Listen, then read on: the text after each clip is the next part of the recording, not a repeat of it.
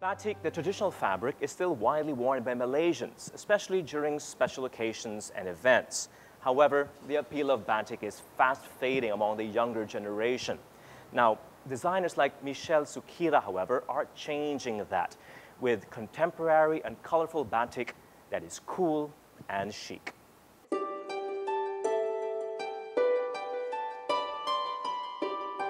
I visited her newest shop, which just opened last April. Michelle, let me ask you, I mean, when we think of batik, mm -hmm. traditional batik, mm -hmm.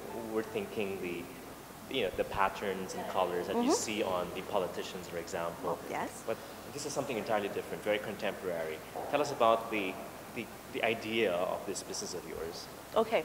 Um, the reason why we came up with a very modern uh, concept is simply because there are a lot of young people, because in Malaysia, half the population is a young generation. Mm -hmm. They cannot relate to the traditional design, and they have always been looking for something new, something more exciting so they can wear it.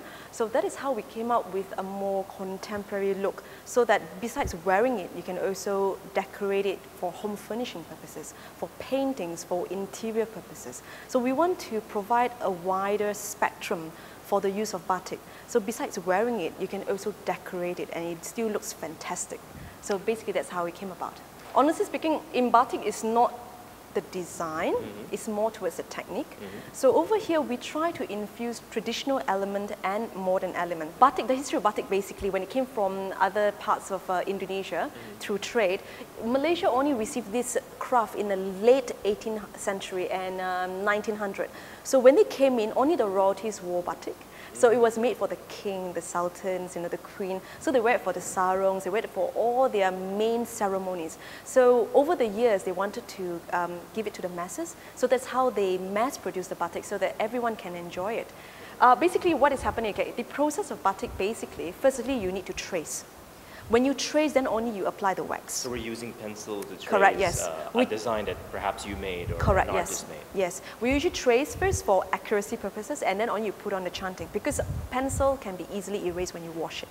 So that's not a problem. So when you chant it, then after that you will have a better feel of the entire fabric. And once it's dried, then you put in the colors.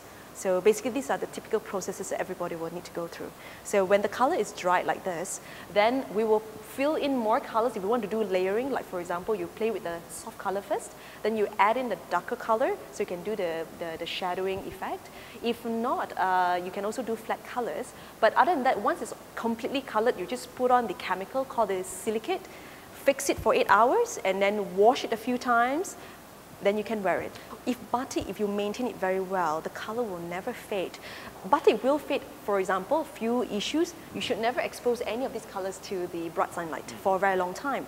So in terms of the, uh, the uh, durability of the batik fabric, it lasts a lot longer than synthetic fabrics and printed fabric with machine. Michelle also supports local artists and craftsmen, like Malaysian artist Boon Kiat, who has trained with some of the greatest potters in the world. His clay work leaves a surreal feel as he mixes different clay material with ash-based glazes cooked using multiple firing processes. Also sold at the boutique are designs by Dutch jeweler Jan van, who only uses materials indigenous to Malaysia for his jewelry. In the case of these pieces on display, rubber and silver. The result is a design that is both Asian ethnic and yet Scandinavian modern, and standout accents that can withstand daily wear.